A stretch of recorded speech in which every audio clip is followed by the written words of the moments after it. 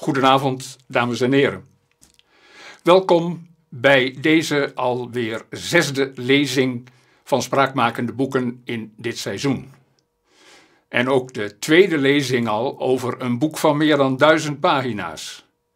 Het eerste was De Spiegel en het Licht van Hilary Mantel. En nu dus Max Mischa en het TED-offensief van Johan Haarstad. De lezing daarover moest vorig jaar vanwege corona uitvallen, maar die kunnen we nu gelukkig inhalen. Deze lezing is weer van tevoren opgenomen en zal in ieder geval tot aan het eind van het academisch jaar op de site van Spraakmakende Boeken blijven staan. En ook de volgende lezing zal weer een opname zijn. Op 8 april kunt u luisteren naar Sander Brouwer, die het een en ander zal vertellen over de roman De Rustelozen van Olga Tokarczuk. En ik heb begrepen dat ook de Jacobsboeken daar wel ter sprake zullen komen. Rest mij nog u de spreker van vanavond voor te stellen, Dr. Suze van der Pol.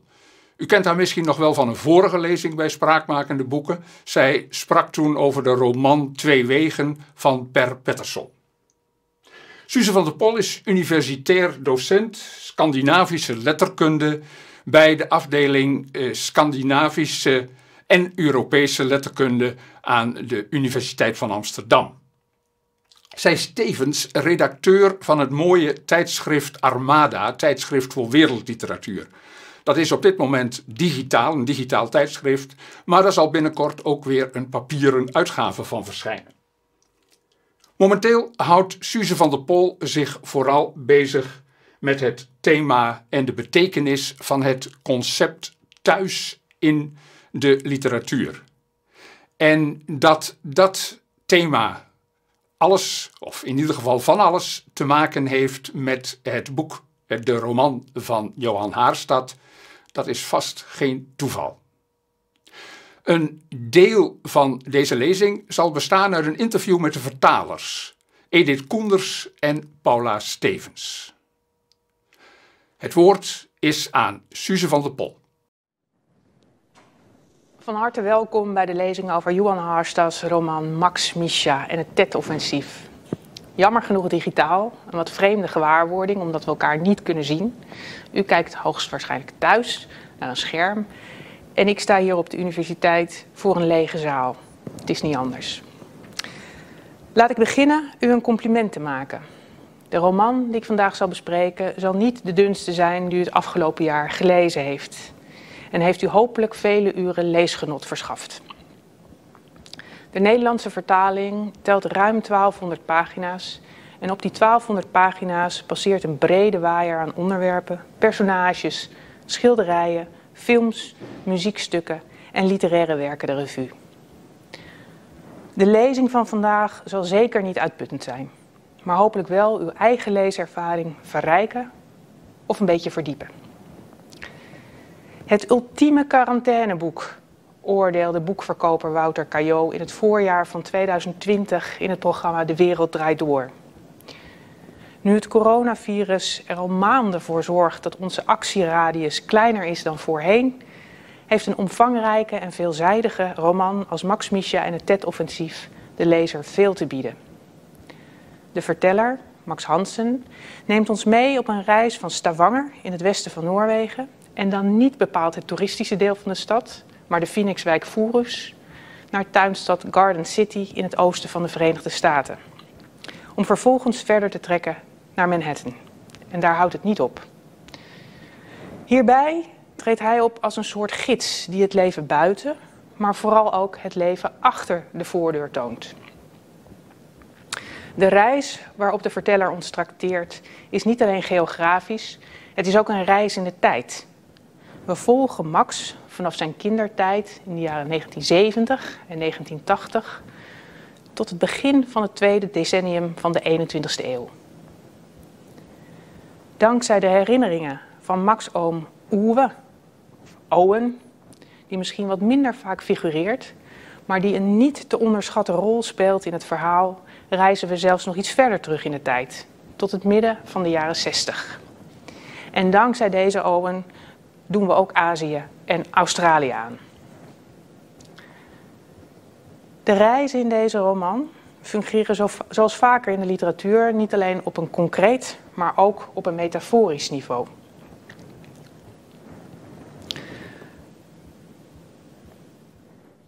Ze staan ook voor iets anders. Voor een zoektocht naar de eigen identiteit, naar waar Max en Owen thuis horen en naar hun plaats in de wereld en hun relatie tot anderen.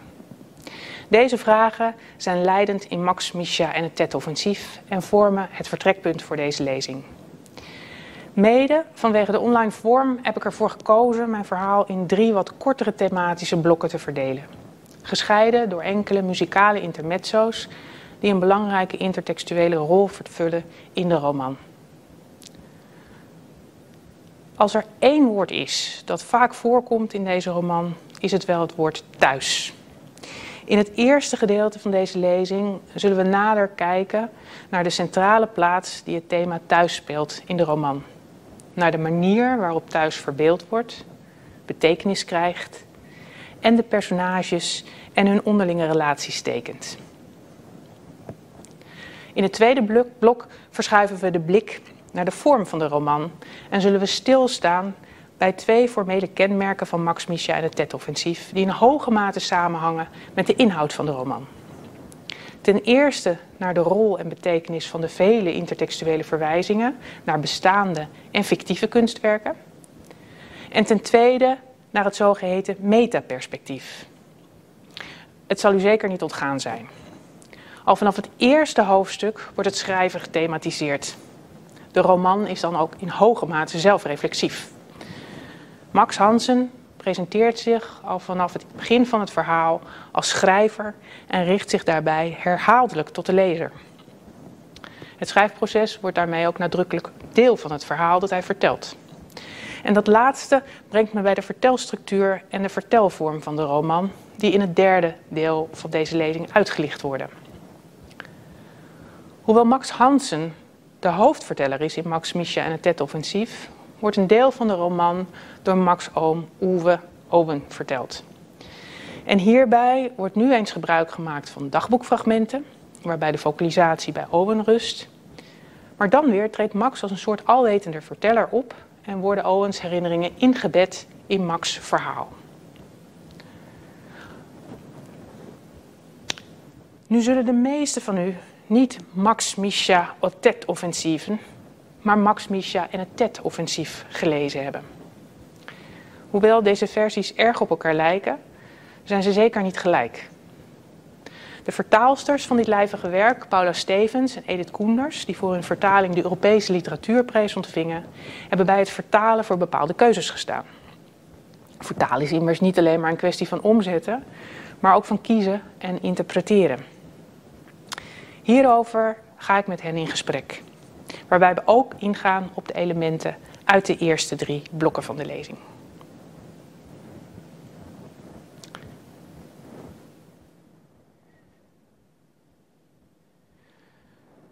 Thuis. Zoals Max aangeeft in het openingshoofdstuk, schrijft hij, misschien tegen beter weten in, om zichzelf beter te begrijpen. Hij schrijft in een ultieme poging het verlorene of dat wat verloren dreigt te gaan te bewaren. Nu kun je dat verloren in een veelzijdige roman als Max Misha en het Tet-offensief onmogelijk terugvoeren op één enkel element. Maar één van de meest in het oog springende verloren zaken is toch wel dat wat de Noren jem noemen, thuis. Volgens Max met afstand het mooiste woord in de Noorse taal. In zijn recensie van de roman in de Noorse krant Klassekampen, die recensie verscheen in november 2015, omschreef Eivind Miklebus de roman als, ik citeer, een onderzoek naar de onmogelijkheid zich ergens thuis te voelen. Einde citaat. En in dit verband is het ook interessant om even stil te staan bij wat de auteur zelf opmerkte in een interview in een van de grote Noorse kranten. Harsta gaf aan dat Max, Misha en het TED-offensief verschillende aspecten onder de loep neemt van wat hij hjemlöshet of tillhörighet noemde. Van thuisloosheid en thuis horen. Harstad voegt eraan toe dat hij de roman in Oslo schreef. En dat hij tijdens het schrijven hevig terugverlangde naar zijn geboortestad Stavanger in het zuidwesten van Noorwegen. Een stad die hij echter niet langer als de zijne zag. De geboortestad, zoals hij die zich herinnerde, was namelijk in de loop der jaren verdwenen. Johan Harsta raakt hier eigenlijk aan twee fundamentele zaken. Ten eerste, en het is misschien een beetje een open deur, maar het is toch goed om het even te benoemen, dat er een onderscheid is tussen aan de ene kant de herinnering en aan de andere kant het herinnerde object zelf. De buurten en steden die Harsta en ook zijn romanpersonage Max zich herinneren, bestaan onafhankelijk van de individuele herinnering en zijn voortdurend in ontwikkeling. Hierdoor kan er een kloof ontstaan tussen de herinnering en het herinnerde object. Ten tweede dat datgene wat we als thuis beschouwen niet alleen geografisch of materieel is, een huis of een plaats, maar ook een idee of een voorstelling. Een constructie met andere woorden. Een constructie die sterk verbonden is met emoties, gevoelens en herinneringen. Ideeën en voorstellingen van thuis worden in hoge mate gecreëerd door onze herinneringen en ervaringen uit de kindertijd en worden vervolgens gekleurd door ervaringen die men later in het leven opdoet. En dat is ook precies het geval in Johan Harstas retrospectieve vertelling. En precies de reden dat hij ons als lezer al heel vroeg waarschuwt voor de onbetrouwbaarheid van zijn herinneringen.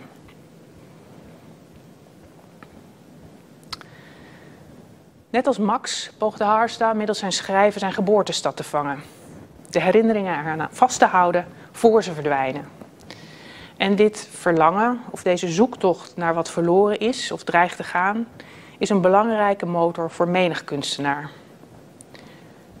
U denkt misschien in eerste instantie aan Proest, maar we kunnen ook verder kijken naar deze roman.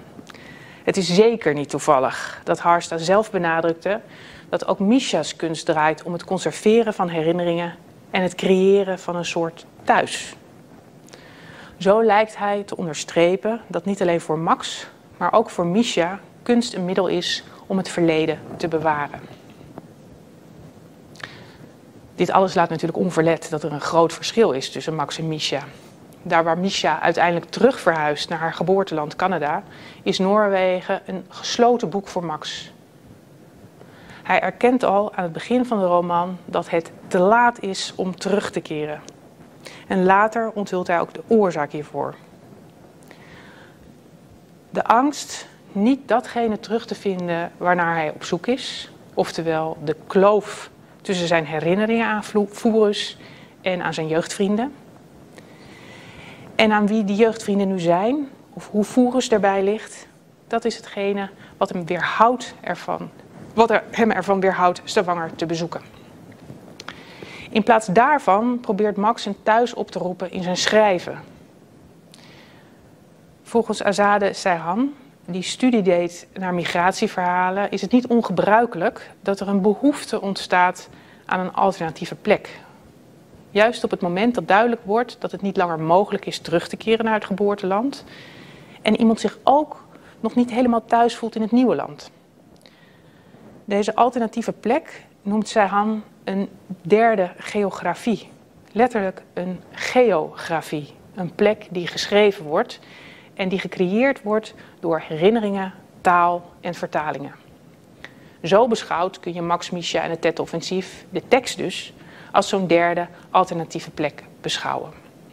Ik zal in de loop van de lezing een aantal keren naar uh, andere bronnen uh, verwijzen op de laatste slide van de PowerPoint kunt u deze uh, terugvinden. Die derde alternatieve plek dus. Laten we eens nader kijken naar deze plek. Hoe wordt die plek ingekaderd? Een blik op de openings- en slotscène uit de roman onthult iets bijzonders. Het begin en het eind van het verhaal zijn gesitueerd in de herfst van 2012. En zowel op de eerste pagina's als op de laatste pagina's bevindt de dan 35-jarige hoofdpersoon en verteller zich in transit. Letterlijk een doorgang, ergens tussenin. Op de eerste pagina bevindt hij zich in een hotel. de laatste pagina bevindt hij zich op het vliegveld JFK. Die setting is illustratief voor de toestand waarin Max Hansen zich bevindt en de gevoelens die met die toestand gepaard gaan. Hij zit als het ware gevangen tussen verleden en toekomst, tussen twee talen. Hij schrijft zijn toneelstuk in het Engels, maar wanneer hij over zijn eigen leven, zijn eigen herinneringen schrijft, moet dat in het Noors. Iets wat onderstreept dat hij zich nog steeds ergens tussen Noorwegen en Amerika in bevindt. Hij voelt zich ontheemd en ontbeert op het moment van schrijven ook een fysiek huis. Hij toert, verblijft s'nachts in hotels en motels, maar geeft daar gaandeweg de voorkeur aan in zijn auto te overnachten. Dat gebrek aan een fysiek huis, een dak boven zijn hoofd, lijkt een tijdelijk en daarmee overkomelijk probleem.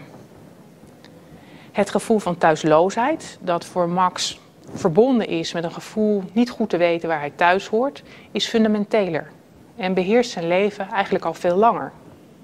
Eigenlijk al sinds het moment dat hij als tiener met zijn ouders en grote zus de wijk Furus in Stavanger in het zuidwesten van Noorwegen verliet en naar Amerika verhuisde.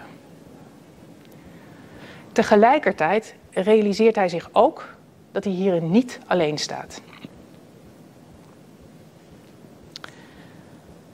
Sinds het gezin Hansen Stavanger verruilde voor Long Island is Max migrant. En dat stelt hem voor een existentieel probleem. Zijn leven wordt beheerst door een gevoel er niet helemaal bij te horen. En dat gevoel wordt niet minder naarmate de jaren verstrijken. Sterker nog, het houdt hem steeds meer bezig.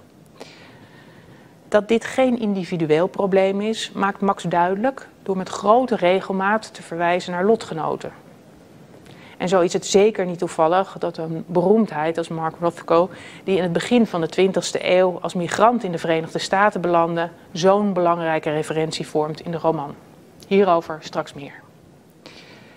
Net zo min als het toevallig is dat uitgerekend de Verenigde Staten met zijn vele migranten het toneel vormen van Max Micha de Tet-offensief. Onder deze migranten ook veel nazaten van Noorse migranten. In de laatste decennia van de 19e eeuw emigreerde zo'n beetje een derde van de Noorse bevolking naar Amerika. In de hoop daar een beter bestaan op te bouwen. Max ontdekt tijdens een bezoek dat hij samen met Owen brengt aan het Noors-Amerikaanse Museum Westerheim, letterlijk huis of thuis in het Westen, dat deze migranten de Amerikaanse samenleving helemaal niet omarmden, maar sterk vasthielden aan hun eigen taal en tradities. En naar huis bleven verlangen. Het museum is dan ook geen zins een viering van de Noorse immigratie, maar toont juist de schaduwzijde ervan. Dat massale karakter van die laat 19e eeuwse emigratie heeft de Noorse geschiedenis en identiteit sterk getekend.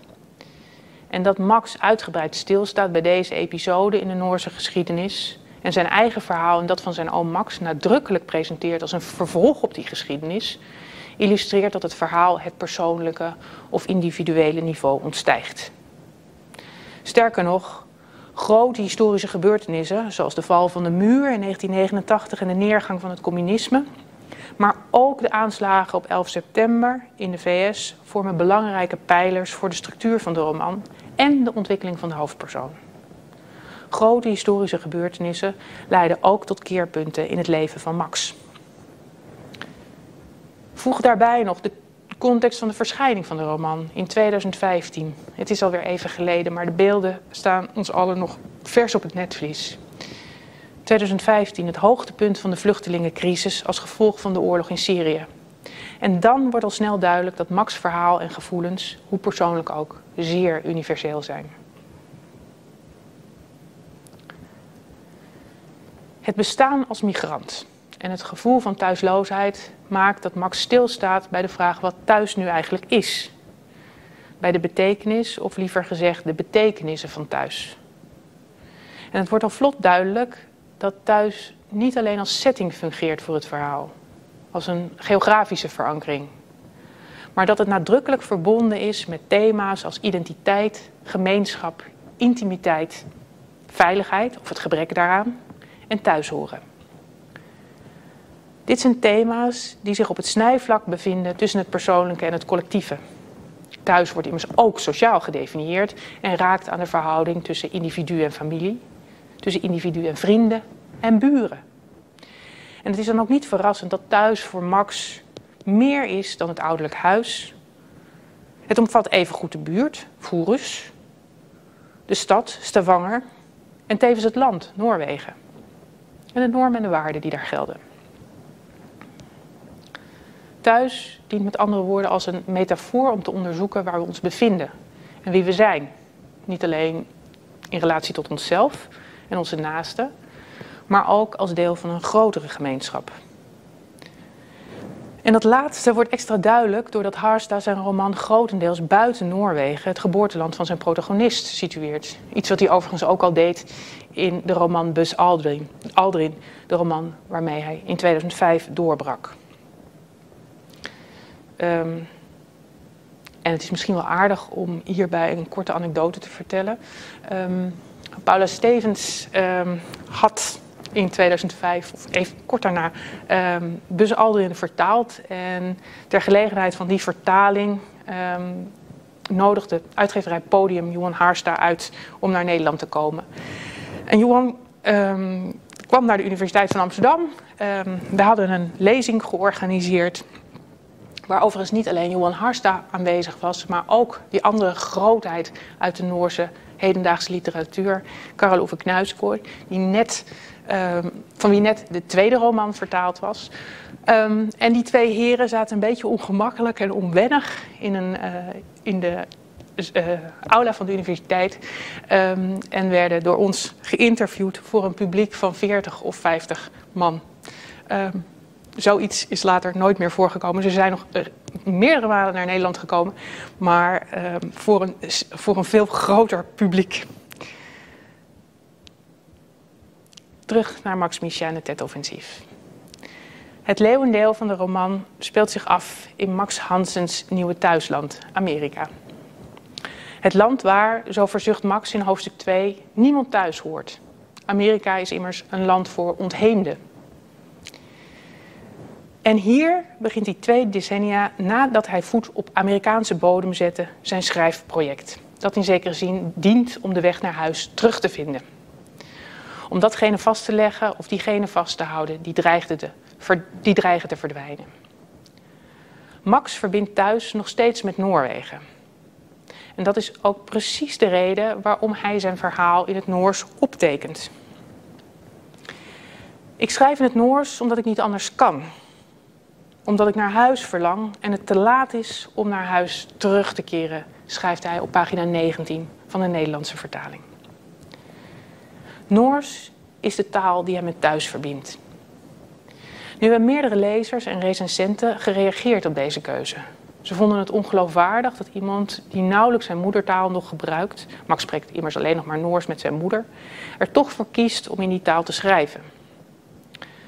Susan Stanford Friedman wees er echter op dat tweetaligheid juist een kenmerk is van transit waarbij een individu weigert zich volledig te assimileren en zich vastklampt aan de gedachte dat er ook nog een ander thuis is. En zo beschouwd is de keuze in het Noors te schrijven misschien toch wat minder bevreemdend.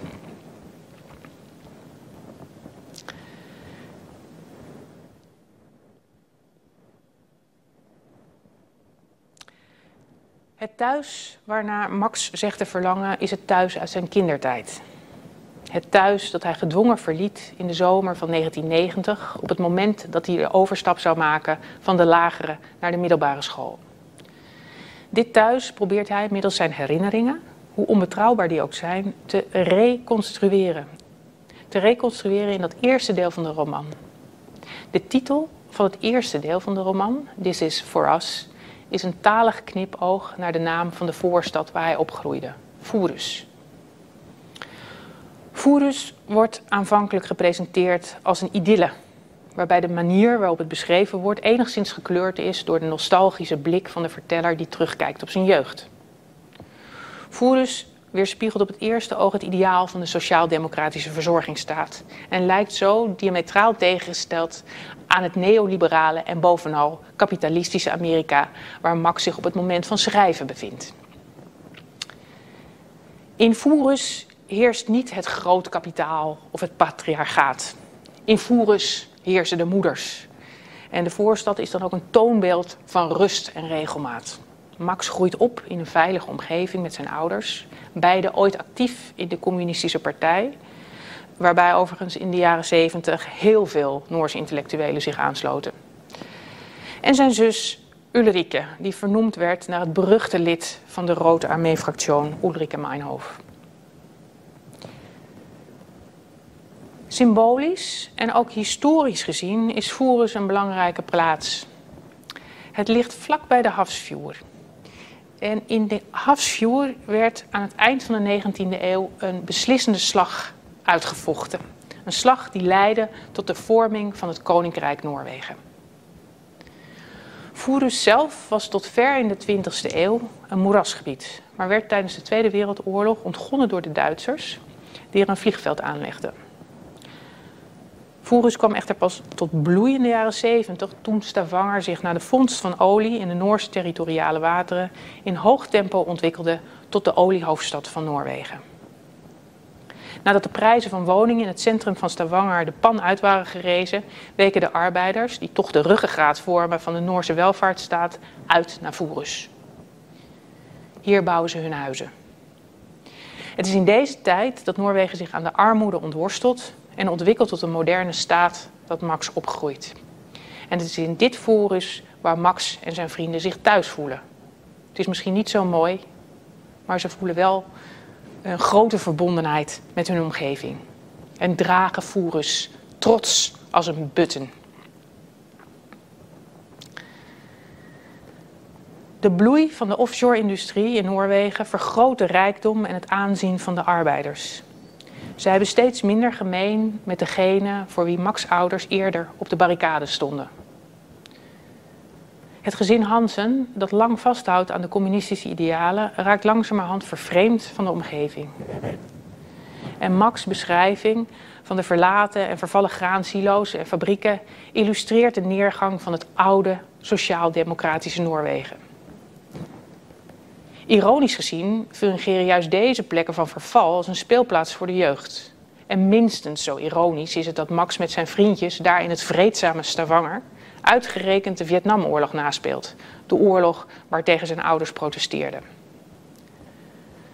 Max is gefascineerd geraakt door deze oorlog nadat hij Francis Ford Coppola's Apocalypse Now heeft gezien. Een film die een grote stempel drukt op zijn leven en werk. En daarmee ook op de roman. De film ook die in zekere zin het einde markeert van Max' onbezorgde jeugd. Na het kijken van die film wordt hij geplaagd door nachtmerries en dringen filmbeelden het voorheen zo veilige ouderlijk huis binnen, dat af en toe onheimisch aandoet. Wat opvalt aan de beschrijving van deze jeugdherinneringen is dat Max een collectieve vertelstem hanteert. Hij heeft het niet over ik, hij hanteert hier, of hij spreekt hier voortdurend, zou je kunnen zeggen, in de meervoudsvorm. Wat een gevoel van collectivisme of een gedeelde identiteit oproept. En zo heeft hij het ook over de moeders en de vaders. Inderdaad, de gezinnen die in Voerus wonen lijken op elkaar. De vaders zijn veel afwezig. Ze werken op zee. De vader van Max' vriendje Andri is zelfs permanent uit beeld. En de vader van Max is als piloot ook heel veel van huis. In Voerus regeren de moeders. Als de vaders weg zijn, is er herrie en zijn de kinderen vrij. Maar tegelijkertijd wordt er goed op ze gelet. De moeders houden hun eigen kroost en dat van hun buurvrouwen nauwlettend in het oog. De solidariteit is groot. Hoe anders is het als de vaders thuis zijn? Dan heerst er stilte. En als het zomer is, ruik je de aanwezigheid van de vaders door de barbecue-luchten die zich verspreiden. Een ode aan de voorsteden, zo vaak verguist. Zo zou je Max herinneringen aan Voerus kunnen noemen. Verderop in het verhaal, als Max kennis maakt met Misha's vrienden, blijkt dat velen van hen als volwassenen met grote dankbaarheid terugkijken op hun jeugd in voorsteden. Voorsteden waar ze als koningen heersten over rijken die geen toerist ooit een bezoek waardig achten. Waar niemand een letter aan vuil maakte of films overschoot. Ironisch genoeg is dat precies wat Max in zijn verhaal doet. Toch vertoont de idyllische beschrijving van het leven in Foerus, dat veel weg heeft van een sociaal-democratisch paradijs, waar de kinderen centraal staan en de moeders vetorecht hebben, gaandeweg barsjes. Terwijl de rest van Foerus opstoot in de vaart der volkeren en het neoliberalisme omarmt, blijft het gezin Hansen vasthouden aan de oude communistische idealen. Iets wat prachtig geïllustreerd wordt aan de hand van de buste van Lenin, die in huizen Hansen met kerst als de communistische variant van de kerstman dient. Pas na de val van de muur, die de neergang van de Sovjet-Unie en de DDR markeert, lijken de ouders van Max hun idealen definitief overboord te zetten. Ze besluiten naar het kapitalistische Amerika te verhuizen. En zo laat Harsta een van de grootste geopolitieke veranderingen in de late 20e eeuw samenvallen met een van de belangrijkste keerpunten in het leven van zijn protagonist.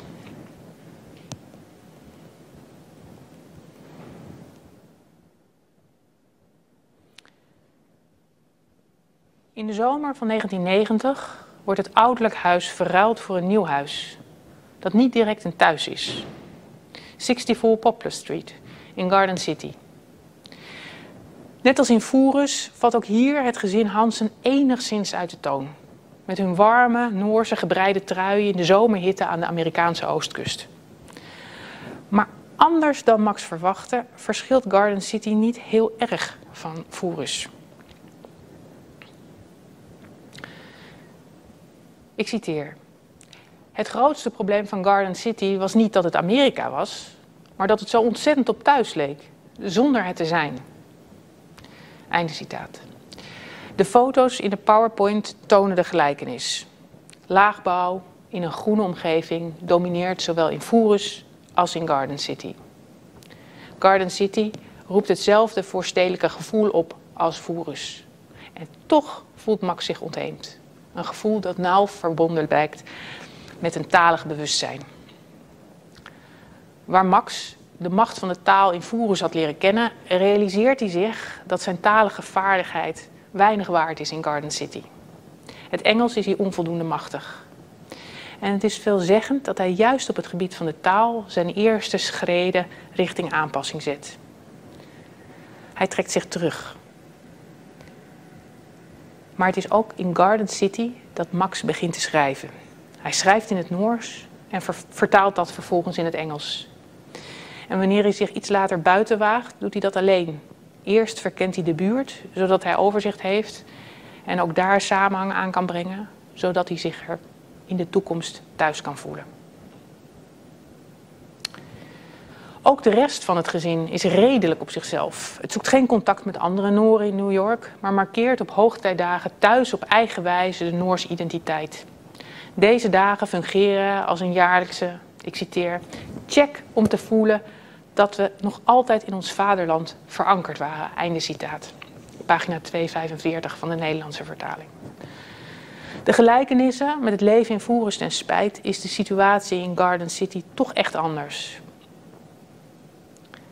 Een van de duidelijkste voorbeelden daarvan levert Max moeder. Zij runde in Noorwegen haar eigen winkeltje. En dat winkeltje diende tevens als podium voor de strijd, of eigenlijk de discussie zou je kunnen zeggen, over vrouwenrechten. Maar Max' moeder werkt niet meer in Amerika. Ze zit thuis. En de vader van Max drijft ook steeds verder af van zijn gezin. Garden City, City is eigenlijk de plaats waar het gezin Hansen ontbindt. Na Max' eindexamen ontruimen Max en zijn moeder het huis in Garden City. En dat de bruin leren bank die ze meegenomen hadden uit Noorwegen verweest buiten staat, markeert symbolisch het einde van een tijdperk. Perk. Max' moeder verhuist naar Queens en Max naar Epthorpe. Dat zijn nieuwe thuis wordt.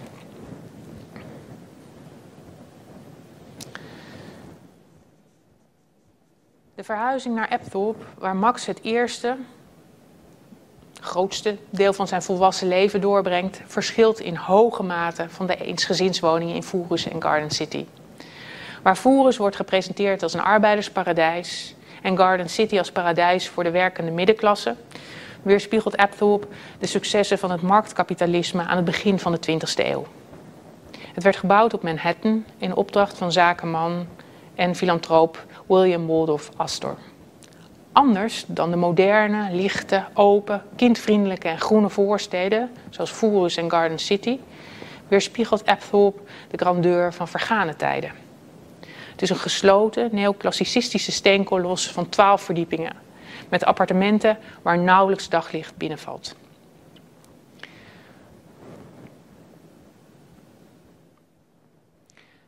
Volgens architectuurcriticus Paul Goldberger creëert het gebouw een gevoel van een private, veilige wereld. En inderdaad, als buitenstaander, zo lezen we in het boek, kom je niet zomaar langs Andy, de portier. Die houdt de buitenwereld vakkundig buiten. Eenmaal binnen ademen het gebouw en de binnenruimte rust en luxe. Appartement 3D, dat Owen aanvankelijk samen met het echtpaar Hall en vervolgens alleen en later met Max bewoont, is er ruim 300 vierkante meter groot. En telt zeven kamers, vijf toiletten, drie lichtbaden en twee haarden met marmeren vloeren en luxe parket, gestukte plafonds, een ingang en een aparte dienstingang. Al moet gezegd dat het gebouw in de jaren 90, wanneer Max intrekt bij zijn oom Owen, de gloriejaren achter zich heeft gelaten. Het gebouw verpauperde door, de door jaren van achterstallig onderhoud. En wanneer Apthorpe in 2006, compleet met zijn asbest, lekkende etages, kapotte deurbellen, kapotte verwarming en het roestige water dat ochtends uit de kranen komt, verkocht wordt aan een private investeerder, breken er voor de zittende bewoners, en dat zijn lang niet allemaal vermogende bewoners, onzekere tijden aan. Max, Misha en Owen niet uitgezonderd. Gaandeweg verliest Apthorpe ook voor hen zijn status als thuis. Toch begint de onzekerheid niet pas in 2006 met die verkoop. De aanslag in New York op 11 september 2001 op de Twin Towers raakt ook hen. Anders dan Owen en vele andere New Yorkers voelt Max niet de drang om te helpen bij het opruimen van de puinhopen na die aanslag maar wordt hij zich er juist van bewust dat hij een buitenstaander is. Het is, ik citeer, alsof ik opnieuw ontheemd raakte. Einde citaat. Dat gevoel lijkt Max te verlammen. Ondertussen verwoordt Apthorpe tot een ziek lichaam. Het verliest die eigenschappen die volgens Peter Somerville een huis tot een thuis maken. Apthorpe fungeert niet langer als, ik citeer, a shelter, a hearth, a heart, privacy, roots, abode, and possibly paradise. Einde citaat. Stuk voor stuk eigenschappen die veiligheid symboliseren. In de kelder van het gebouw ontwaart Max de eerste tekenen van metastase. Die woordkeuze is niet toevallig, want ondertussen blijkt dat Owen kanker heeft. Mogelijk als gevolg van de gebeurtenis in 2001. Waar de keldermuizen oprukken naar de appartementen, de boze buitenwereld in de vorm van een investeerder de levens van de bewoners binnendringt en de privacy verstoort, de verwarming regelmatig uitvalt, de relatie tussen Max en Misha uitdooft en het gebouw steeds onheimischer wordt, gaat ook de gezondheid van Owen steeds verder achteruit. De dag van zijn overlijden, in november 2011, valt samen met de dag waarop Max moet verhuizen en zijn transitbestaan begint. Laten we heel even pauzeren. Ik laat u zo direct een opname uh, horen van het Bergens Philharmonisch Orkest. Um, van een stuk van Harald Severud, Wiese Slotten. Een muziekstuk dat Owen in gedachten naar het Noorwegen van zijn jeugd voert.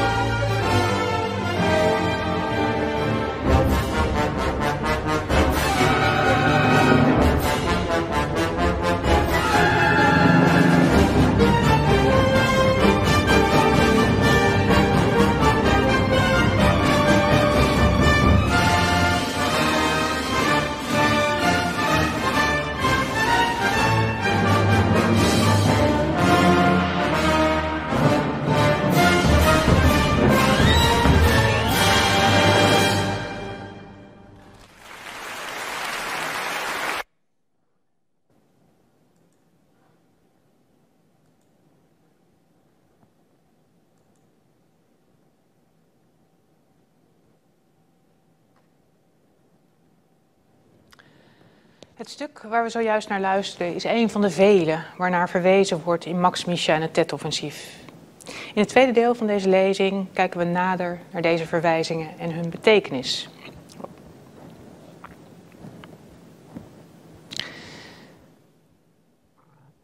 noem één thema en Johan Harstas roman heeft het zeer waarschijnlijk behandeld, schreef de Noorse literatuurcritica Gert Elenstava Sandwe in haar recensie van Max Misha en het TED-offensief. Dat Harstas roman gekenmerkt wordt door veelzijdigheid leidt geen twijfel. In de Noorse pers werd hij, afhankelijk van de leeswijze van de recensent, gedefinieerd als coming-of-age roman, kunstenaarsroman, anti-oorlogsroman, emigrantenroman of totaalroman. Ik zou Max Misha en het TED-offensief willen karakteriseren als een inclusieve roman. Een roman die enerzijds de lezer de hand reikt en tegelijkertijd de lezer uitdaagt. Een roman die voldoende herkenningspunten presenteert, maar daarmee ook nadrukkelijk speelt. Dat blijkt onder meer uit de omgang met de talloze impliciete en expliciete intertextuele en multimediale verwijzingen naar bestaande, maar ook verzonnen kunstuitingen in de roman. Intertextualiteit wordt door postmoderne auteurs dikwijls ingezet om te onderstrepen dat ons beeld van de werkelijkheid in hoge mate gekleurd wordt door eerdere verbeeldingen of representaties van de werkelijkheid. Hierdoor vervaagt de scherpe grens tussen fictie en werkelijkheid. Daarbij wordt door de bewuste inzet van intertextuele verwijzingen ook de romantische gedachte over originaliteit uitgedaagd. Is wat we verzinnen werkelijk nieuw? De vele verwijzingen in Harstas roman lijken bovenstaande functies ook te vervullen. Middels die verwijzingen worden in Max en het TED-offensief de grenzen tussen fictie en realiteit verkend en gethematiseerd en worden er vraagtekens gesteld bij de mogelijkheid werkelijk origineel te zijn. Postmoderne literatuur heeft nog wel eens elitaire trekken, omdat die alleen doorgrond zou kunnen worden door de goed ingevoerde lezer. Voor Haarstas roman geldt dat minder en dat heeft waarschijnlijk te maken met het feit dat hij refereert aan een veelvoud aan cultuuruitingen. Uit de hoge cultuur, uit de lage cultuur, de roman refereert aan popmuziek, rockmuziek, aan volksmuziek, aan klassieke muziek, aan films, schilderijen en literaire teksten. En hun makers. Hier valt dus voor een divers lezerspubliek ontzettend veel te herkennen en te ontdekken. Terwijl voor Max schrijvers als Eugène Ionescu en Samuel Beckett films als Apocalypse Now van regisseur en filmmaker Francis Ford Coppola, Stanley Kubrick's verfilming van The Clockwork Orange en Ridley Scott's science fiction horrorfilm Alien, maar ook rockbands als Sonic Youth belangrijk zijn, is Misha gefascineerd door schilders als Mark Rothko en dankzij Max wordt ze op het spoor gebracht van de Noorse pop-art-kunstenaar Peer Kleiva. Romantische Noorse componisten als Vartijn Wallet, Edward Grieg en de jonge Harald Severud, die we zojuist gehoord hebben, en die pas later in zijn leven de romantische traditie losliet, zijn voorbeeldfiguren voor Owen. Owen, die zich overigens ook interesseert voor de liederen van, over emigranten van de Zweedse componist Jan Johansson. Dat Owen ruim tien jaar na zijn emigratie via de muziek vasthoudt aan de Scandinavische wortels, waaraan hij zich eerder heeft willen ontworstelen, illustreert dat hij net als Max een beetje tussen twee werelden inleeft. En zo kleuren de intertextuele kaders de personages in. En dat is bijzonder aardig, ook omdat de uiterlijke beschrijvingen van hen uiterst spaarzaam zijn. Laten we nog even luisteren naar een van die Scandinavische stukken. Ditmaal een compositie van Jan Johansson, Wieson, från Utan Mira.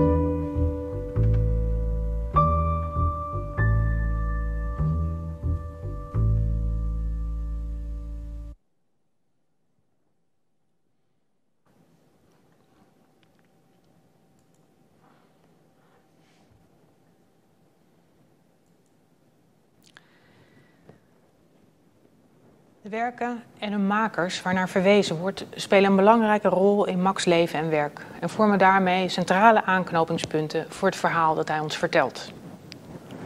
Het is dan ook niet verrassend dat de titels van een aantal van deze werken als titels of ondertitels van de delen van de roman fungeren. Ze illustreren en nuanceren de thema's die aangeroerd worden. Zo geeft Peer Kleiwas. Oh, één nog verder. Um, zo, uh, zo, geeft Peer Kleiwas schilderij Blad voor Imperialismens dagboek. bladeren eigenlijk, of beelden uit het dagboek van het imperialisme. Waarmee protesteerde tegen de bloedige oorlogsvoering van de Amerikanen in Vietnam. Een ander beeld dan Apocalypse Now. En illustreren uh, Slet de Marx performance Lection i Konsten att falla uit 1969. Hier hebben we hem. Het is even stilstaand beeld. En Rothko's schilderij Black on Maroon uit 1958. Weer andere thema's. Van veel van de kunstwerken zijn uitvoerige beschrijvingen opgenomen in Max Misha en het TED-offensief. Een mooi voorbeeld hiervan wordt gevormd door de passage uit de fictieve catalogus bij de tentoonstelling Grey, a Retrospective, in het deel zonder titel nummer 1, halverwege de roman. Hier wordt uitgebreid stilgestaan bij de Vietnamization-serie van Max' vriendin Misha Gray. De catalogus beschrijft hoe zij beïnvloed werd door Pierre Kleiwa's anti-oorlogsschilderijen en Francis Ford Coppola's Apocalypse Now bij het vervaardigen van deze politiek geëngageerde reeks schilderijen. En passant wordt bij de beschrijving van Colby, een van de schilderijen in de serie, die later nog een heel belangrijke rol speelt in de roman, de plot van Coppola's film verwerkt. Dat in deze beschrijving over een van de personages wordt opgemerkt dat hij, ik citeer, hier niet thuis hoort, maar weet dat hij hier niet weg kan omdat het te laat is, einde citaat, lijkt niet toevallig. De oplettende lezer herkent hierin onmiddellijk het gevoel dat Max op de eerste pagina's van het boek beschrijft. Zo toont de roman dat de beschrijvingen niet alleen de werken zelf tot leven wekken, maar tevens laten zien hoe die werken verknoopt zijn met de levens van de personages. Er liep hier net iemand door de zaal.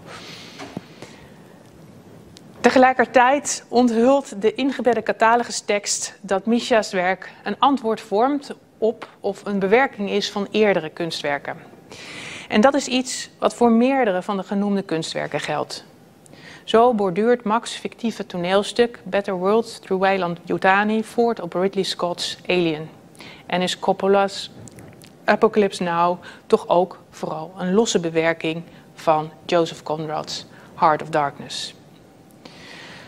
Dat Harsta de tweede en de laatste zin van zijn roman ontleent aan Samuel Beckett's toneelstuk Wachten op Godot, doet vermoeden dat Max Misha en het TED-offensief schatplichtig is aan andere literaire voorbeelden. En inderdaad leunt Max in hoge mate op Beckett. En dat is niet zo gek. Net als Beckett schrijft Max naast toneelstukken ook proza. En net als Beckett schrijft Max niet alleen in zijn moedertaal, maar ook in de taal van het land waar hij naartoe emigreerde. Daarbij deelt Beckett Wacht op Godot met Max Misha en het TED-offensief de thematisering van de overlevingsdrang van de mens in een wereld die alle betekenis verloren lijkt te hebben. Het belang van Beckett wordt verderop in de roman nog eens onderstreept. Wanneer Max en zijn vriend Mordecai tijdens de toneellessen op de middelbare school het stuk repeteren. Wachten op Godot draagt zo bij aan hun vorming. En het is dan ook niet verrassend dat hun leraar Wolman de beide vrienden erop wijst dat de zinloosheid die Beckett's personages aan den lijf ervaren, iets is waar alle mensen, en dus ook Max en Mordecai, mee geconfronteerd worden. De thematisering van de betekenisloosheid en vervreemding door Beckett en Harsta kenmerkt ook die andere centrale intertekst. Francis Ford Coppola's film Apocalypse Now. Met die film maakt Max kennis als elfjarige. En hij, hij haast zich de lezer erop te wijzen dat hij op dat moment geen onbeschreven blad was. Toch slaat deze film in als een bom. Een bom die angst oproept, maar ook zorgt voor een blijvende fascinatie en een blijvend referentiepunt zal zijn in Max' werk. Zo vraagt Max zich na de aanslagen op het World Trade Center af of Amerika nog steeds zijn metaforische jungle is. Dit doet vermoeden dat hij de film ook gebruikt om grip te krijgen op een wereld waarvan hij zich vervreemd voelt. Anders dan voor Max is de Vietnamoorlog voor zijn oom Owen geen metafoor, maar representeert die oorlog een diep trauma. Owen, heeft aan het eind van de oorlog in 1972 dienst genomen in het Amerikaanse leger om zo aanspraak te kunnen maken op het felbegeerde Amerikaanse staatsburgerschap. Maar de prijs die hij daarvoor betaalt is hoog, heel hoog. Niet alleen wordt hij geplaagd door nachtmerries, hij vervreemdt zich door zijn deelname in de oorlog definitief van zijn Noorse vrienden en ook van zichzelf. Hij voelt zich een, ik citeer, vervalsing, een bedrieger. Einde citaat. Dit gevoel van vervreemding van de omgeving en zichzelf kenmerkt ook veel van Max Helden. Of het nu Willard is, op zoek naar de welhaast mythische kapitein Kurtz in Apocalypse Now, of de schilder Rothko, of de auteur Beckett. De vervreemding, gekoppeld aan een reflectie over zijn eigen identiteit en de wens diegene die hem nastaan en datgene wat hem nastaat vast te houden, vormt, zoals we al eerder zagen, voor Max de aanleiding voor zijn schrijfproject. Net zo goed als de verankering van zijn persoonlijke verhaal een grote gebeurtenis in de wereldgeschiedenis laat zien dat Max' verhaal het individuele ontstijgt, onderstreept ook een deel van die intertextuele verwijzingen dat de thematiek die Max aanroert universeel is. En daarbij zijn we aangeland bij het derde gedeelte van deze lezing.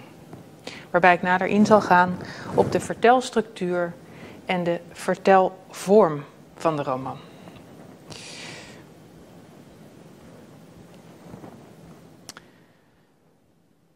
Voordat we het boek openslaan om naar de vertelstructuur en de vorm te kijken, is het aardig om eerst een blik te werpen op het omslag.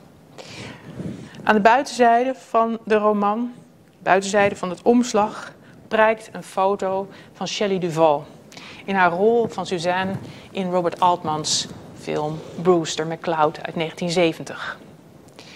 Hoewel die film al aan het begin van de roman besproken wordt, duurt het ruim 300 pagina's tot het hoofdstuk Fire Island voor duidelijk wordt dat de foto op het omslag ook verwijst naar de vrouw op wie Max verliefd wordt.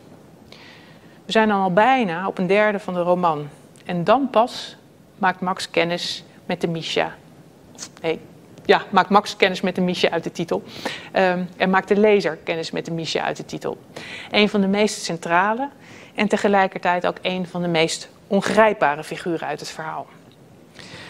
De binnenzijde van het omslag, en ik gebruik hier even de Noorse uh, uitgave, omdat die net iets, wat dat betreft, iets completer is dan de Nederlandse. Maar we kunnen het zo een beetje dichterbij halen. Um, de binnenzijde van het omslag is minstens zo interessant. Hier zijn posters van toneelstukken en tentoonstellingen afgebeeld. Maar uitsluitend van de fictieve toneelstukken en tentoonstellingen die in het boek beschreven worden. Tentoonstellingen met Misha's werk, toneelstukken van Max, toneelstukken van Max en Mordecai. Op de Noorse hardcover prijkt bovendien aan de voorzijde nog een brief van Max op het briefpapier van het hotel The Sherry Netherland. Waar hij logeert nadat hij het Eptorp eind 2011 verlaten heeft. En voor hij een jaar later rond gaat toeren met het stuk Better Worlds. In deze brief, die gesteld is in het Engels, verzoekt Max ene hem de bovengenoemde posters toe te sturen. Op de achterzijde, hier rechts op de dia tenslotte, het ziet er zo uit. Um, op de achterzijde tenslotte staat een overzicht met, naar wat we later begrijpen, de tentoonstellingen zijn waar Misha's werk getoond is. Het ziet er allemaal hyperrealistisch uit. En als lezer word je bijna op het verkeerde been gezet. Zou ik dan toch iets gemist hebben? Bestaan die stukken en schilderijen dan toch echt? Het spel met de grens tussen fictie en werkelijkheid, dat een van de rode draden in het boek vormt, begint nog voor u een letter gelezen heeft. Over doel van het verhaal en de taal waarin hij zijn verhaal optekent, informeert Max de lezer in het eerste hoofdstuk. En hij geeft hierbij tevens aan dat hij grotendeels put uit zijn herinneringen, waarbij hij eraan toevoegt dat die herinneringen geen zins betrouwbaar zijn. Ik citeer: Het geheugen is een archief met onbetrouwbare medewerkers. Pagina 68 van de Nederlandse vertaling. Met andere woorden, lezer, wees op uw hoede. Max' verhaal, zo leert de tijdsaanduiding aan het begin van het eerste deel, start in de herfst van 2012. Bijna 1100 pagina's later, en in de Nederlandse vertaling zelfs ruim 1200 pagina's later. Wij Nederlanders hebben nu eenmaal net even iets meer woorden nodig uh, dan Noren. Zijn, zijn we weliswaar een heel verhaal verder, maar is het nog steeds 2012. We hebben met andere woorden te maken met een zogeheten cirkelcompositie. In de herfst van 2012, de herfst dat Max rondtoert met zijn toneelstuk Better Worlds through Weiland Yutani, tekent hij zijn levensverhaal op. Een verhaal dat begint in de jaren 70, die Max in Noorwegen doorbrengt, en eindigt in 2012. Kort nadat orkaan Sandy het huis van Max' moeder Beate in Howard Beach en daarmee, ik citeer, al haar bezittingen, alle spullen die we uit Noorwegen hebben meegenomen en die ze 22 jaar heeft gekoesterd en nooit weg heeft willen gooien. Einde citaat. Vernietigd. Het tussenliggende gedeelte van het verhaal heeft de vorm van een retrospectief en beschrijft, weliswaar gefragmenteerd, de periode tussen 1966 en 2012. Een deel van het verhaal speelt zich dus af voor de geboorte van Max Hansen. De roman heeft dan ook niet één, maar twee vertellers. En daarmee twee narratieve lijnen. In de ene treedt Max op als eerste persoonsverteller en beschrijft hij zijn herinneringen, ervaringen en reflecties. Deze lijn is overwegend chronologisch gestructureerd. De tweede lijn is gecentreerd rond Owen, Owen Larsen, die tot de jaren 70 door het leven ging als Uwe Hansen. Owens verhaal is deels gestructureerd in de vorm van dagboekfragmenten, die opvallend genoeg in de derde persoon worden weergegeven. Die keuze voor de derde persoonsvorm in dagboekfragmenten markeert een zekere afstand. En je vraagt je af waarom. Maar als we iets beter kijken naar de manier waarop de dagboekfragmenten gestructureerd zijn en waarop de rest van het verhaal dat Owen vertelt gestructureerd is, zien we dat anders dan bij Max, bij Owen de chronologie doorbroken wordt. En net als de doorbroken chronologie zou je kunnen zeggen, is die afstand tot het ik, door het gebruik van de derde persoons verteller in de dagboekfragmenten, niet zelden een kenmerk van een traumatische vertelling. Owens trauma wordt veroorzaakt door de verschrikkingen die hij meemaakt in 1972 in Vietnam. Zijn ervaringen bieden een heel andere kijk op de Vietnamoorlog dan het romantische beeld dat Max zich van die oorlog gevormd heeft en dat vooral gevoed is door films als Apocalypse Now. Owens dagboekaantekeningen dekken in totaal drie periodes. Van 1972 tot aan zijn terugkeer naar New York in 1977. Dan met een sprongetje naar de periode tussen 1978 en 1980, waarin Owen intrekt in het appartement van Debbie en Seymour Hall, Hall in Apthorpe. En tot slot de periode 1981-1992, waarin Owen een carrière als pianist begint. En het was tenslotte ook de muziek waarvoor hij naar Amerika reisde. Waar de jaren 1980 in de beschrijving van Max naar voren komen um, als een tijd van groeiende rijkdom. Immers het Noorwegen dat hij beschrijft ontwikkelt zich van een arm land tot een rijk rijke olienatie, blijkt uit de beschrijvingen van Owen dat in Amerika de ontwikkeling juist een andere kant op gaat. Daar zit het verval in. De laatste dagboekaantekeningen van Owen stammen uit 1992.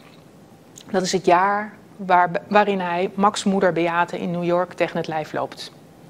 En waarin hij Max' leven binnenkomt.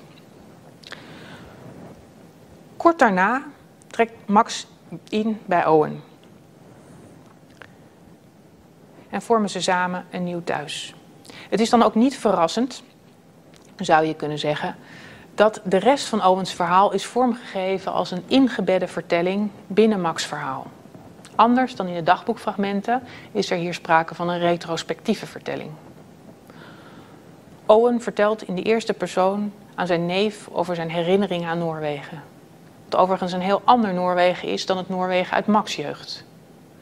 Het Noorwegen uit de jaren 60 dat Owen beschrijft, werd gekenmerkt door een patriarchale structuur en de kleinburgerlijkheid van de oudere generatie. Met daarnaast een jonge generatie die zich afzet. In Owens geval leidt dat afzetten tegen de gevestigde patriarchale orde tot zijn emigratie naar Amerika. De twee narratieve lijnen zijn nauw met elkaar verweven. En zo kijken we als lezer nu eens mee met Max en dan weer met Owen. Inhoudelijk gezien delen hun verhalen veel elementen. De Vietnamoorlog, de herinneringen aan Noorwegen, de emigratie naar de Verenigde Staten, het belang van vriendschap en het verlies van vrienden, het gevoel van thuisloosheid en de zoektocht naar een thuis, naar geborgenheid. In zekere zin illustreren de verhalen elkaar en vullen ze elkaar aan. Maar minstens zo interessant zijn de tegenstellingen. We zagen al dat Owens weergave van de Vietnamoorlog en de nawerking ervan het beeld, het romantische beeld dat Max uitdraagt, bijstelt. Omgekeerd illustreert Owens verhaal dat emigratie niet per definitie eindigt met een permanent gevoel van thuisloosheid. En dat geeft hoop. Max, Misha en het Tet-offensief eindigt waar de roman begon, in transit. Ditmaal bevindt Max zich niet op een hotelkamer, maar in vertrekhal 8 op JFK Airport. Met een ticket naar Montreal op zak. Op weg naar Misha. En hopelijk op weg naar een nieuw thuis. Voor we besluiten, zou ik uw aandacht willen vragen voor de twee personen aan wie we deze lezing uiteindelijk te danken hebben. Natuurlijk naast de organisatoren uh, in Groningen. De vertalers van deze lijvige roman, Paula Stevens en Edith Koenders. Vorige week nam ik met hen een interview op via Zoom, omdat we niet bij elkaar aanwezig konden zijn. En in dit interview laten zij hun licht schijnen over de roman en het vertaalproces.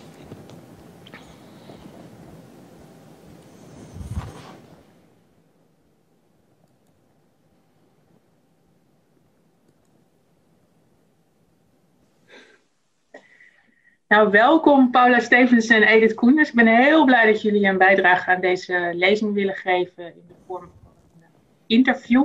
Uh, jullie hebben dit enorme werk uh, voor de Nederlandse lezer toegankelijk gemaakt.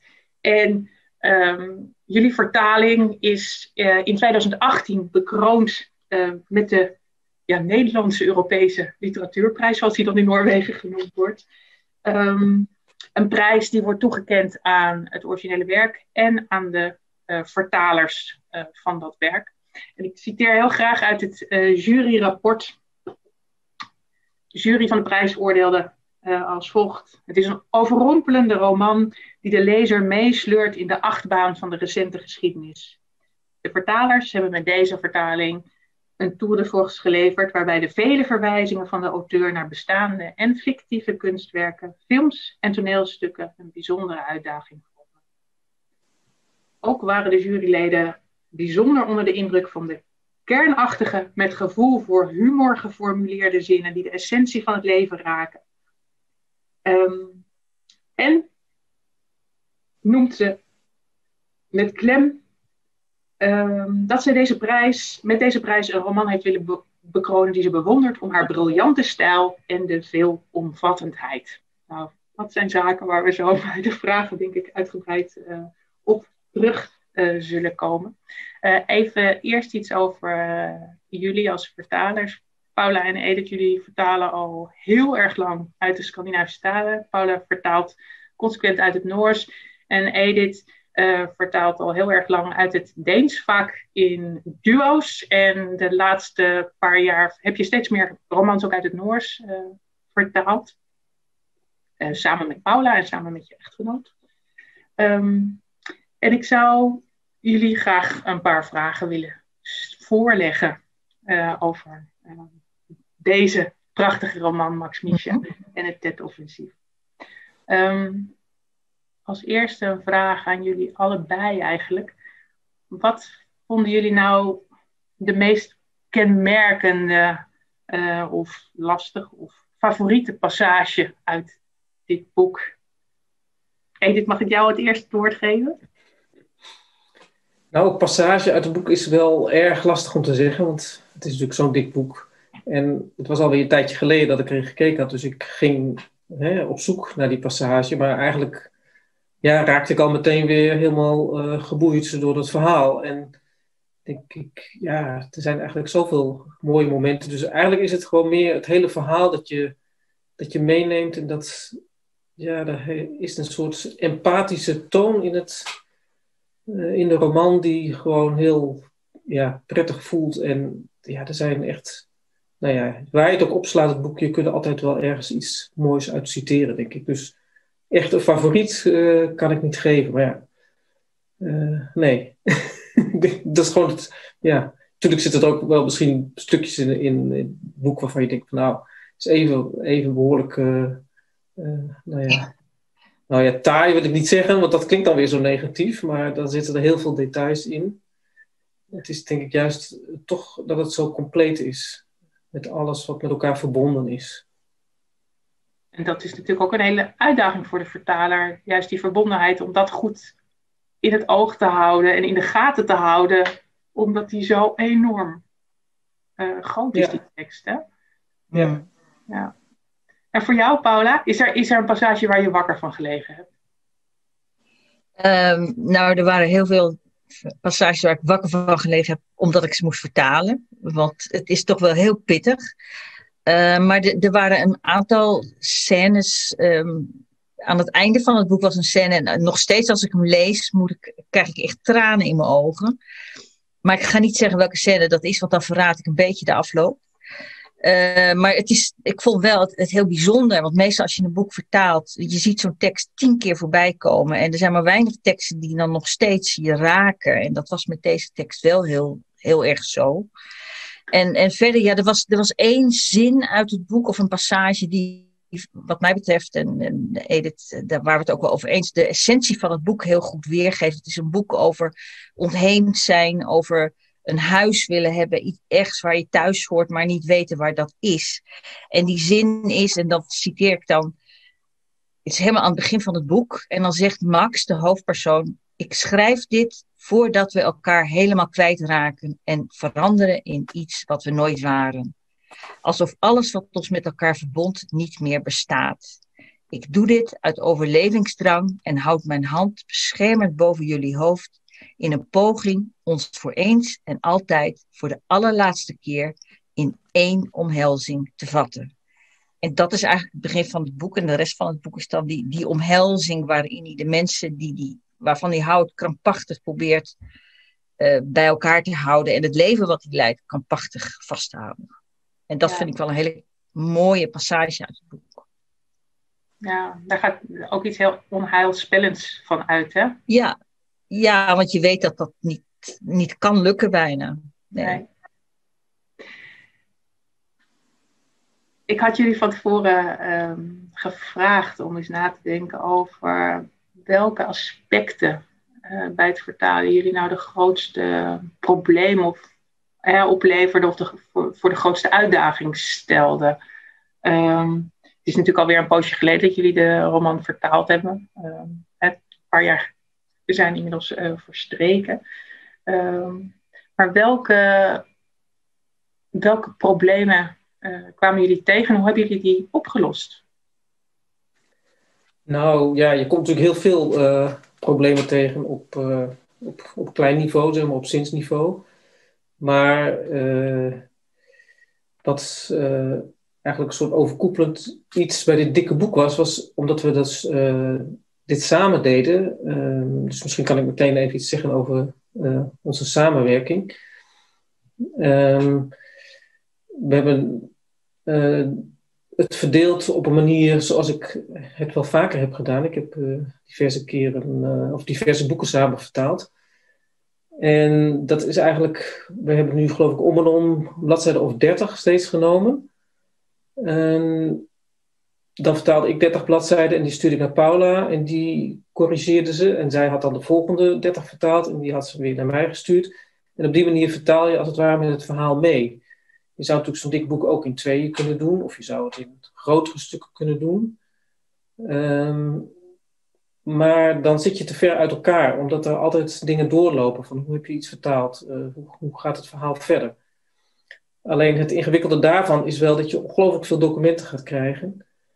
Dus je hebt een vertaald document, of een, een stuk van 30 bladzijden, en dat is dan gecorrigeerd. Die correcties die voer je door. En dan uiteindelijk heb je dus uh, zeg maar een soort voorlopige eindversie. En die worden allemaal aan elkaar geplakt. Dus je gaat een beetje heen en weer in de tekst. En als je dan op bladzijde 900 bent, dan is het eigenlijk te, te, groot voor je, nou ja, voor je brein haast om te denken van, wat was dat ook alweer op bladzijde 150? En in dat geval is het sowieso natuurlijk heel fijn dat je met z'n tweeën bent, want dan kun je ook uh, dat nou ja, verdelen of ondervangen. Uh, en dat was wel een, een grote uitdaging van dit boek, gewoon omdat het zo omvangrijk is.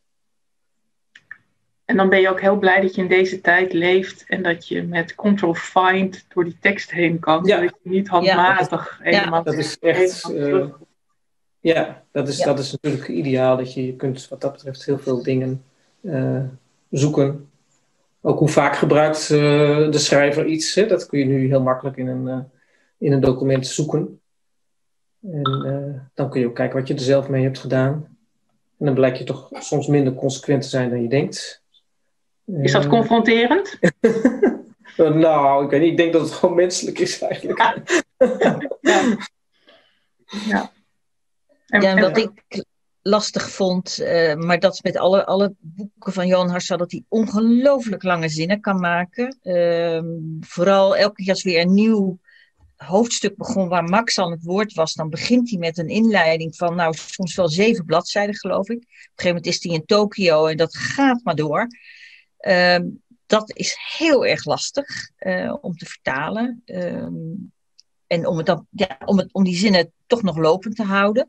En wat ook moeilijk was uh, in dit boek was, hij beschrijft dus al die kunstwerken, die niet bestaande kunstwerken uh, en uh, toneelstukken op een manier die aan de ene kant helemaal over de top zijn, want hij maakt eigenlijk de, de, de taal van catalogie en van recensenten een beetje belachelijk, maar het moest ook weer niet te over de top zijn. Het moest ook wel echt zo in een catalogus kunnen staan. Dus dat was ontzettend moeilijk balanceren uh, binnen ook een, een, genre en een, en een jargon wat je ook niet meteen beheerst. Dat was echt iets waar je in moest duiken en veel mensen moest vragen. Dus dat vond ik ook heel lastig om die, die balans tussen ironie en, en inderdaad uh, beschrijving van zo'n kunstwerk op een manier waarop dat vaak heel hoogdravend gebeurt, om die balans te houden. En omdat je, misschien ook omdat je dan alleen maar zijn tekst hebt. En is dat dan ook anders uh, op de momenten dat je passages vertaalt waarin hij bestaande toneelstukken uh, en bestaande uh, schilderijen beschrijft? Mm, of nee, eigenlijk dat niet. Zo uit? Nee, dat maakt niet zo uit. Ten eerste hadden we vaak geen idee of het een bestaand iets was of wel. dan zochten we een toneelstuk op en dat bleek dan helemaal niet te bestaan. En andersom dacht je, nou, dit, dit bestaat niet. En dan ging je googlen en dan was het er wel. En bovendien, uh, we kregen van Johan uh, tijdens het vertalen kregen we een, een soort uh, een, mapje met alle kunstwerken, de kunstwerken die hij beschrijft in het boek, die gemaakt zijn door Misha Gray, die niet bestaat, heeft hij op een gegeven moment ook nagemaakt. Dus we hadden in feite de kunstwerken er gewoon naast liggen. Uh, en de posters voor de toneelstukken waar uh, Mordecai in speelt, zijn beste vriend, die waren ook gewoon, uh, die, die, had hij ook gemaakt. Dus je kon daar gewoon, we hadden in feite de, de fictieve toneelstukken, de fictieve kunstwerken, heeft hij echt gemaakt. Zij gaat daar heel ver in. En dat was een enorme hulp. Toch, Edith? Ja, zeker. Ja. En ook, hij had ook voor zichzelf een, een klein archiefje gemaakt van bijvoorbeeld huizen, plekken waar ook nou ja, scènes zich afspelen. Want wat ik zelf wel ook nog een extra punt vond, is dat vertaalt natuurlijk uit uh, het Noors nou ja, en, en, het Deens. En vaak spelen die boeken zich af in Scandinavië. En een groot deel van dit boek speelt zich dus niet af in Scandinavië, maar in Amerika. En ik ben bijvoorbeeld nooit in Amerika geweest, ben nooit in New York geweest. Dus ik heb, uh, nou ja, eigenlijk nog uh, ja, ook enorm veel bijgeleerd en heel veel gekeken. Dat kan natuurlijk tegenwoordig ook heel goed. Bijvoorbeeld als uh, Max dan in de zomer op Long Island is en daar Misha leert kennen. En ja, hoe ziet, dat, hoe ziet dat eruit? Op wat voor strand loopt hij? hoe liggen die huizen ten opzichte ja. van elkaar? Ook als hij uh, in uh, New York woont, dan gaat hij op een gegeven moment komen ze dan bij uh, oom Owen te wonen. En die woont in een gebouw, de Aptorp Building. Hè? En het, ik, ja, wat is dit? En hij had er wel een plattegrondje van gestuurd. En, of een foto zit ook in dat bestand. Ja. en hij heeft uiteindelijk ook, dus Johan Haastad heeft uiteindelijk ook een plattegrond gestuurd van het appartement. Want toen we dat begonnen te vertalen, dacht je van, hé, ze komen in een hal. En dan is er nog een halletje en een kamer. Dat, zijn gigantische, dat zijn echt gigantische appartementen. En nou ja, dat is wel heel bijzonder dat je dat erbij krijgt. Maar ook dus dat je op zo'n manier op een soort eh, zoektocht moet gaan. Omdat je toch, als je vertaalt, wil je het echt voor je kunnen zien. Uh, Hoe dingen zich ten opzichte van elkaar ja. verhouden. Ja, je moet het kunnen eh, visualiseren voor je het vertaalt eigenlijk. Ja. Ja, ja, en als je dat dan gezien hebt, dus ook met een landschap bijvoorbeeld, dan is het altijd fijn als je dat toch met eigen ogen hebt gezien. Ook al kun je met foto's ook wel veel. Maar, maar hier ook, als je dan ergens heen fietst bijvoorbeeld, dan, nou ja, je kunt het gewoon eigenlijk uh, ja, nu gewoon allemaal een beetje meedoen, hè, dan ja. uh, digitaal. Ja, je zat echt in het boek. Je was ook echt, ja. Het ging bij hem heel verder. We hebben bijvoorbeeld ook een foto gekregen van een parkeerplaats waar wat bosjes staan. Waar ze dan met z'n tweeën een paar flessen wijnsoldaat maken. En daar weten wij dus precies welk bosje dat was. Ja. Het, is, het was ontzettend. En uh, zeker met zo'n dik boek was het heel fijn, omdat je toch veel meer betrokken bleef bij het boek. Omdat je gewoon alles wat je vertaalde, dat, dat kon je, daar had je beelden bij. Echt, echt concreet. Voor die details. Ja, ja, ja. ja. Uh, Edith, jij noemde net even dat appartement van Owen. En dat brengt me eigenlijk tot, uh, tot mijn volgende vraag aan jullie. Want uh, er, er, figureren natuurlijk een hele hoop personages in dit boek. Um, de, de, kritiek is ook wel eens een beetje dat niet alle personages even goed uit de verf komen. Dat zusje dat verdwijnt een beetje. Mm -hmm. ja. um, hè? Maar die Owen, die, die oom, uh, speelt weliswaar een wat kleinere rol in de, uh, in de roman. Uh, maar is toch zeker niet onbelangrijk. Um, en dat valt nog eens extra op, omdat hij natuurlijk ook uiteindelijk een van de twee personages is die, die een stem, echt een stem krijgt in het, het boek. Hè? En wat ik me afvroeg eigenlijk is, um, wat volgens jullie nou deze twee stemmen. Enerzijds die stem van Max en anderzijds die stem van zijn oom Owen, uh, die hij eigenlijk pas leert kennen in de VS. Wat, wat die stemmen nou stilistisch uh, kenmerkt. En is het dan lastig om die twee uit elkaar te halen? Hebben jullie daar hele andere keuzes in gemaakt? Of waren nee, de niet zo groot? Nee, je laat je op zich wel gauw leiden door, door, de, door de tekst zoals het is. Hè? Dus je neemt een stem over uh, in het begin dachten we nog even van, nou, misschien kunnen we op die manier het boek verdelen. Hè? De een Owen en de ander. Maar dat, dat, ja, Owen komt zoveel minder aan het woord. Dat was geen goede verdeling. Ik denk wel dat die stem van Owen, vind ik zelf wel een mooie toevoeging. Omdat dat eigenlijk, uh, nou ja, die is al geëmigreerd veel eerder. Hè, dan dat Max ja. gedwongen met zijn ouders emigreerde. In een andere tijd. En daarmee ja, kan hij eigenlijk ook een verhaal vertellen. Ja, wat Max zelf niet zou kunnen doen. Ja, wat Max dan een beetje als kind heeft meegemaakt. Hè? Helemaal gebiologeerd door die Vietnamoorlog. En dan blijkt zijn oom daar zelf in uh, mee gevochten te hebben. Ja. Um, Dus het geeft ook een maar de stemmen waren in het boek ook heel De stemmen waren in het boek ook heel verschillend. Uh, bij Owen is het in het begin helemaal dagboekvorm, hele korte zinnetjes. Het is een man van weinig woorden. Het is een man die, uh, in tegenstelling tot Max, die echt pagina's, uh, wat ik al net al zei, zinnen van pagina's lang. Dat is bij Owen niet zo. Dus de stemmen waren al zo verschillend dat we eigenlijk geen keuzes hoefden te maken, maar alleen de stem te volgen uh, de stem van Owen en de stem van Max volgen. En dan, dan kwam het. En hij, hij had ook een wat archaïsche taalgebruik. En mm. uh, hij beschrijft ook een andere periode natuurlijk. Dus die stemmen kwamen eigenlijk vanzelf, voor mijn gevoel. Ja, dus We hebben daar niet echt over gediscussieerd of. Nee. Nee. Nee, wat mij als lezer opviel. Uh, was dat je je hebt inderdaad die dagboekfragmenten, maar Owen wordt ook beschreven door hè, de blik van Max. En vervolgens komt hij ook weer zelf aan het woord. Dus dat, dat, die wordt zowel van binnen als van buitenaf bekeken, laat ik het zo zeggen, of gepresenteerd. En bij Max ligt dat net eventjes uh, iets, an, iets anders. Hè? Um, ja, we hebben, we hebben eigenlijk al best wel veel besproken. Uh, maar zijn er nog elementen die jullie heel graag naar voren willen brengen? Of dat willen we toch wel heel graag even delen met de Nederlandse lezer. Nou ja, ik, uh, ik vind de, het heel moeilijk de vinger op te leggen bij Johan Harsta waarom die boeken zo ongelooflijk. Want dit boek ook, je leest het in één ruk uit. En nogmaals, bij de tiende keer lezen moest ik dus nog huilen. Bij, nou ja, huilen. Maar in ieder geval, ja, toch bijna wel. Dat doe ik heel snel. Maar goed, uh, bij een bepaalde scène. En dat ik denk, wat ik vind het heel moeilijk waarom hij nu zo de le blijkbaar dus heel veel lezers raakt, maar in ieder geval mij. Uh, en ik vind het ook ontzettend grappig hoe hij speelt met, met fictie en werkelijkheid en, en alles door elkaar heen laat lopen. En, en het is ook leuk om hem te vertalen, omdat het zo'n ontzettend gulle auteur is, die overal bij wil helpen en vragen wil beantwoorden. Dat maakt ook, maakt ook heel veel uit, vind ik. Dus ik vond het echt een feestje om dit te doen met Edith. Ja. En, ja. En jij... En dat dus, is ook... Uh, nou, wat ik ook bijzonder vind is eigenlijk uh, dat, er zo, dat ik zo ontzettend veel mensen uh, ken of van allerlei kanten hoor van mensen die dit boek hebben gelezen.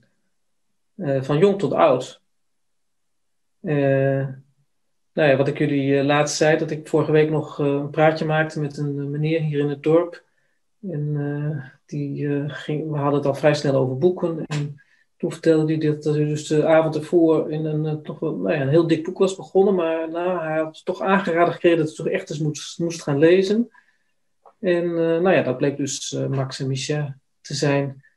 En nou, ik hoop hem over een tijdje te spreken om te horen wat hij ervan vindt. Maar dat zijn wel leuke ontmoetingen. En ik denk, ja, dat heb ik toch niet met een ander boek zo sterk gehad als met, met dit boek. Dus het is ja, het brengt veel samen en het, uh, ja, het geeft veel. En het heeft mij ook veel gegeven in die zin dat ik veel dingen heb opgezocht en dat ik eindelijk uh, Apocalypse Now bijvoorbeeld ja. ben gaan kijken, die film. Ja, ja dat is wel uh, ja, heel bijzonder. Ja, het zegt misschien en, ook. Ja, het zegt misschien ook iets over de veelomvattendheid en die ook in het juryrapport nog eens naar voren werd gebracht. Dus dat er voor iedereen wat, wat in zit.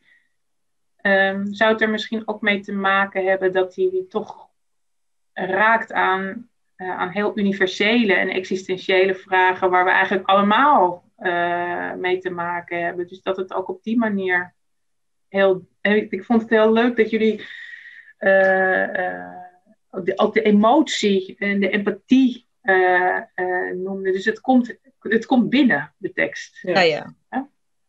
ja het is een heel warm boek. ja. Dus aan de ene kant beschrijft hij een wereld die ver van ons ligt. Hè, dat Amerika wat, wat jij niet kende, Edith. En Voerus, wat, hè, die wijk in, uh, in, in Stavanger, die er al lang niet meer zo uitziet zoals hij hem beschrijft.